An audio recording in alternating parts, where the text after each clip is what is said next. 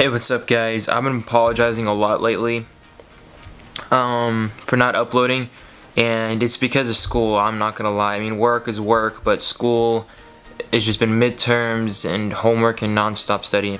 So right now I'm gonna be, uh, the reason why I didn't upload a video last Friday is because everything that I did on my car ended up being a fail. I plastic dipped my uh, trim, um, things, it didn't, it didn't work out. I'll show you guys in a little bit.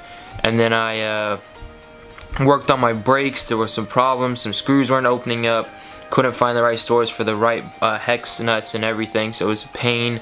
And then I started uh, just, just working around the car, uh, weather stripping, couldn't put it back on the car.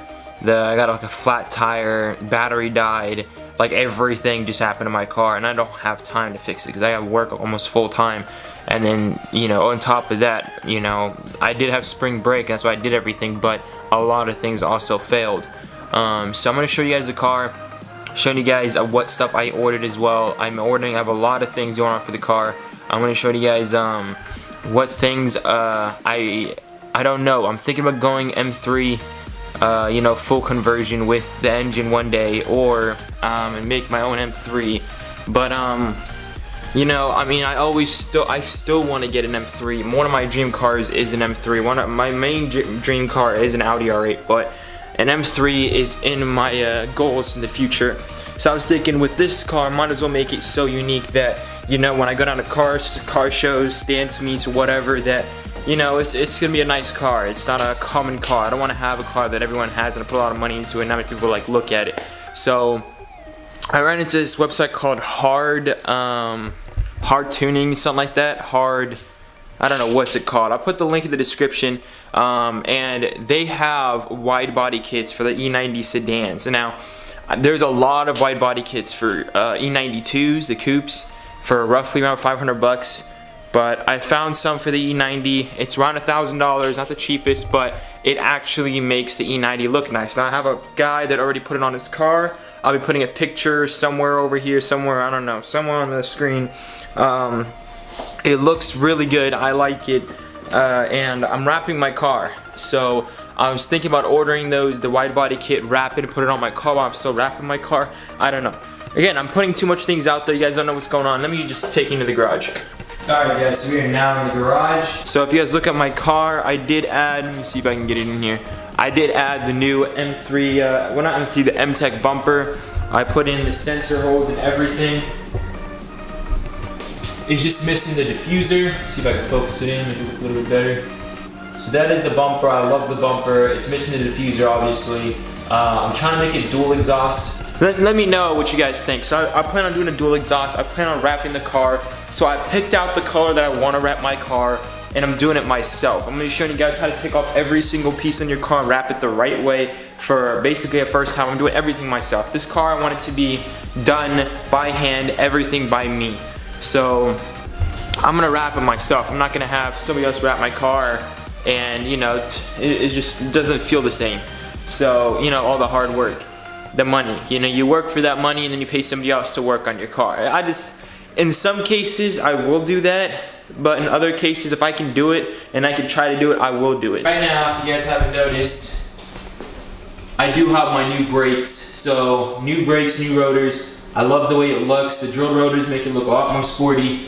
Um, and obviously they do have it, like, you know, performance-wise, it would better braking power. And for the fronts, um, less brake dust. Because if you guys have an E90, I'm sure you guys know there's a lot of brake dust. If you guys are wondering about what kind of brakes and brake pads I use, um, just let me know that in the comments. Now for the rears, um, the rear tire is like I don't know what's wrong with it. It's just out. It's just completely out. The rear tire is like, as you can tell, it's like touching the ground. I'm, I'm pretty sure it's flat. That's why I got a flat tire like the other day. Um, so I'm gonna have to go see what's going on with that. Um, I'll let you guys know.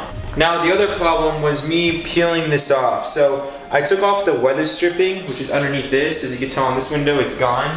I took it off so I can paint it, like paint it off the car. Now, usually with weather stripping, you can peel it off, put it back on, if the car is somewhat new. This is an 06, so when you take it off, it's kind of rusty and it's kind of moldy that, and it, it, it starts to bend. And once it bends, it's really hard to put back. I put the rear one back because there isn't a side mirror, it's pretty easy. But I mean, it's not easy at all. It, was just easier, but it was it's still really hard.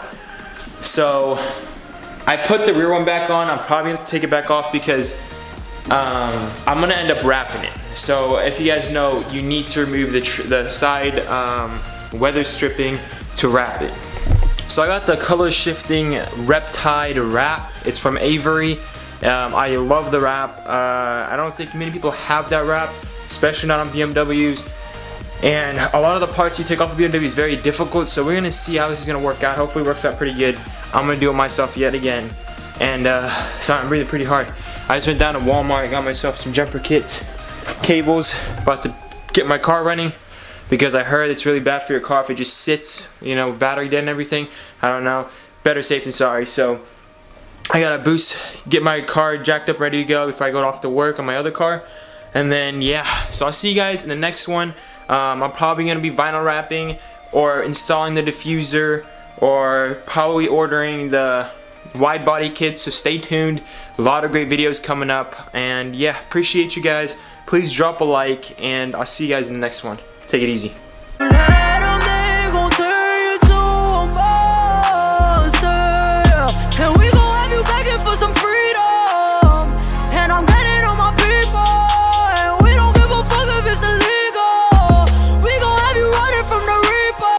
Cảm ơn các bạn đã theo dõi. Các bạn hãy bấm like, comment và hãy bấm nút đăng ký để ủng hộ cho kênh mình nha.